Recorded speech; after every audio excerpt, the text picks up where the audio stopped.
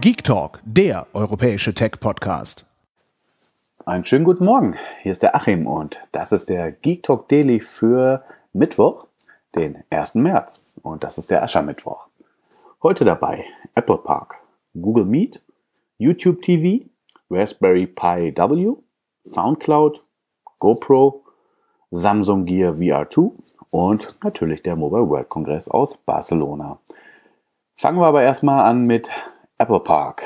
Apple Park ist ja das neue Hauptquartier, in das Apple im April einziehen wird. Das ist praktisch also somit fertig und passenderweise gibt es dazu ein neues Drohnenvideo. Da kann man sich das durchaus beeindruckende Gebäude einmal von oben anschauen und das ist auch in unseren Shownotes natürlich verlinkt. Also der Blick lohnt sich auf jeden Fall. Guckt mal rein. Ein paar Straßen weiter um die Ecke äh, ist in Kalifornien im Valley natürlich auch Google. Und Google hat heute Google Meet vorgestellt. Vor kurzem wurde ja erst Google äh, Spaces eingestellt. Das war ja ein Messenger, wo man sich gefragt hatte, okay, braucht die Welt noch einen Messenger? Und das hat sich Google auch gefragt, eingestellt. Ja, und jetzt hat sich Google wohl gesagt, die Welt braucht auf jeden Fall ein neues Videoconferencing-Tool. Und das ist halt Google Meet, beziehungsweise Meet äh, bei Google Hangouts.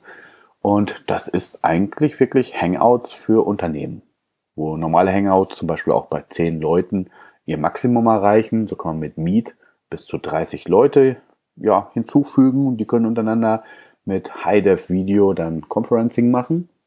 Entsprechende Apps werden auch noch released und damit attackiert Google halt den Videoconferencing-Markt im professionellen Kontext für Unternehmen, was sie ja durchaus schon angefangen haben, also Unternehmenssoftware zu machen mit ihrer G Suite in der Enterprise Edition spannendes Thema. Die Tochter von Google, YouTube, oh, die hat jetzt YouTube TV vorgestellt. Das ist ein bisschen ähnlich wie TV von Apple, was ja fürs Apple TV vorgestellt wurde. Halt ein komischer Name. Wenn es nur TV heißt, YouTube sagt, okay, das Ding heißt dann YouTube TV und das ist praktisch normales, in Anführungsstrichen klassisches Fernsehen als Streamingdienst.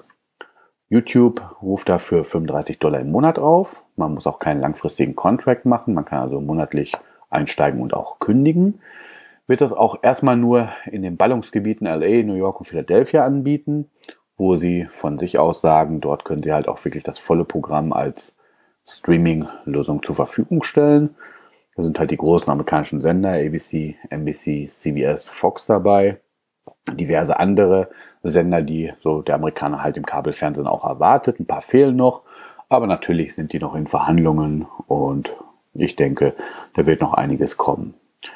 Ob das je nach ja, Europa kommt oder auch nach Deutschland, wage ich erstmal zu bezweifeln. Ich glaube, wenn wir hier soweit sind, dann ist das vielleicht auch eh schon nicht mehr so interessant. Und der europäische Rechtemarkt ist, glaube ich, auch schwieriger als der amerikanische.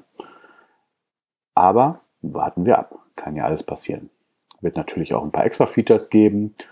Also soll wohl auch ein Videorecorder in der Cloud geben dafür und diverse andere Features, die ihr alle in dem Artikel auch mal euch reinlesen könnt, wenn ihr euch das interessiert, auch wenn es euch nicht direkt tangiert hier in Europa.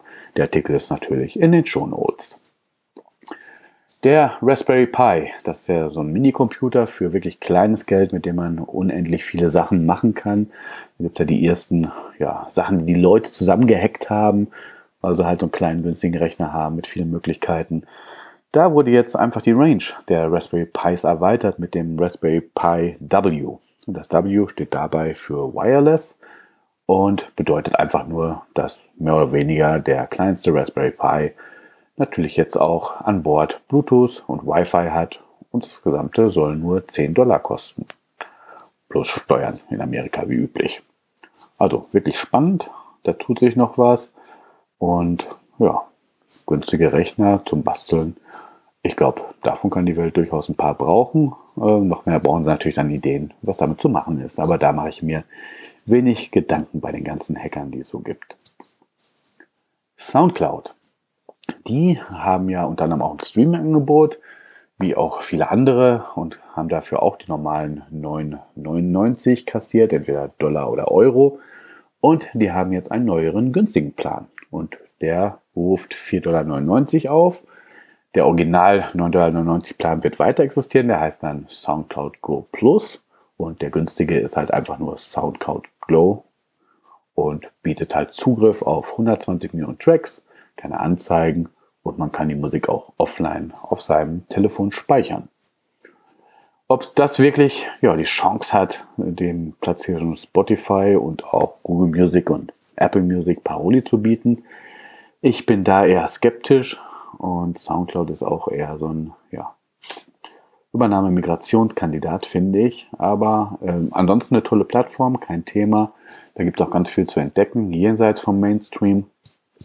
Und zumindest versuchen sie sich so im Markt zu etablieren.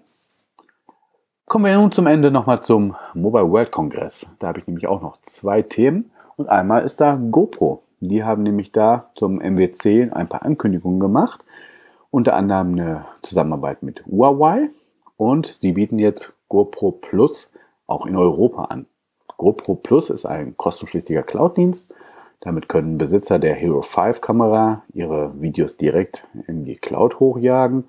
Die ersten 30 Tage sind dabei kostenlos und danach kostet das Ganze 5,99 pro Monat, Euro in dem Fall.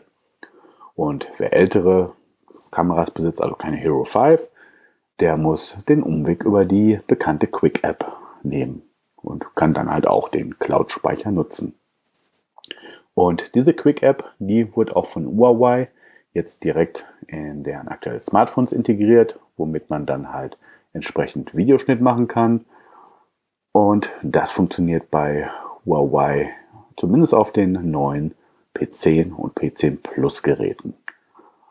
Interessante ja, Entwicklung zumindest äh, Zusammenarbeit macht auf jeden Fall für GoPro Sinn, um sich nochmal ein bisschen breiter aufzustellen. Ob dieser GoPro Plus Dienst wirklich so viel bringt, wage ich jetzt persönlich zu bezweifeln. Aber vielleicht ist es wirklich hilfreich für Leute, die on the go dann mit ihrer Hero 5 direkt praktisch vom Snowboard die Dinger hochjagen können. Hochjagen, ja, kann man halt auch äh, sich selber in, in, in die virtuelle Realität und unter anderem auch mit der Samsung VR, der Gear VR, um korrekt zu sein. Und da gibt es den Nachfolger, die Gear VR 2. In der gibt es halt äußerlich kaum Änderungen. Gewicht hat sich auch nicht geändert. Ein bisschen was anscheinend unter der Haube wurde geändert. Aber auf jeden Fall neu dabei ist der Controller, mit dem man dann entsprechend in der virtuellen Realität Spiele und auch andere Sachen steuern kann. Ja, das wurde auch auf dem Mobile World Kongress vorgestellt und damit bin ich auch schon am Ende für den heutigen Tag. Also ich wünsche euch einen schönen Start. Ich hoffe, wir hören uns morgen wieder am Donnerstag. Und wenn ihr wollt, unterlasst uns doch gerne ein paar Bewertungen, am liebsten auf iTunes. Da würden wir uns am meisten drüber freuen und gebt euch eine ehrliche Erwartung ab. Also wir freuen uns über jeden Stern wenn er uns fünf Sterne gibt, freuen wir uns natürlich am allermeisten. Aber macht das, was ihr wirklich meint. Und ansonsten sage ich damit bis morgen. Ciao, ciao. Hört mehr Geek Talk.